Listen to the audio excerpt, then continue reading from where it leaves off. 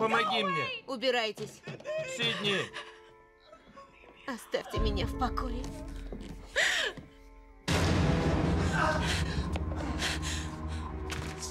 Сид!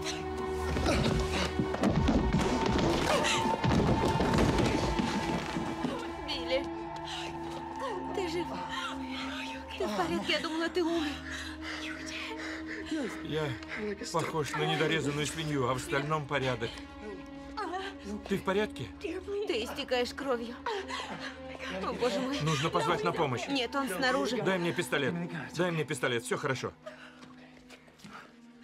Осторожнее. Пожалуйста, помоги мне. Помоги мне. Заходи, заходи. Стью с катушек слетел, он спятил. Все мы порой немного сходим с ума. Нет, нет, Билли.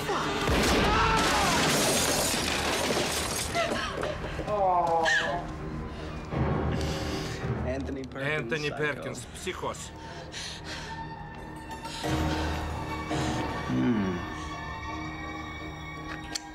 Кукурузный сироп. Эту байду использовали вместо свиной крови в Керри. Стью. Стью. Пожалуйста, помоги мне. Сюрприз, Сидни.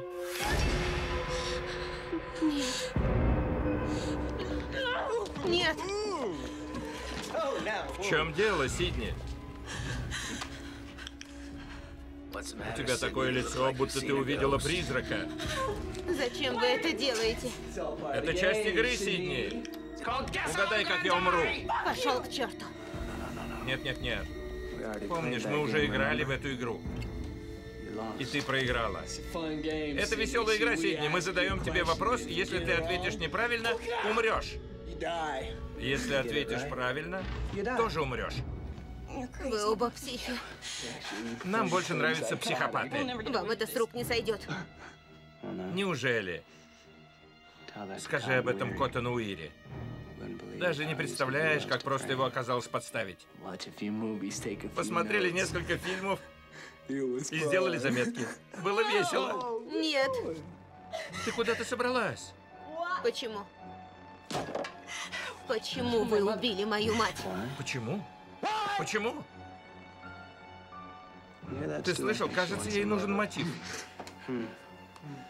Я не особо верю в мотивы, Сид. Разве у Нормана Бейтса был мотив? Нет. А разве нам объяснили, почему Ганнибалу Лектору нравилось есть людей? Я так не думаю. Без мотива все гораздо страшнее, Сид.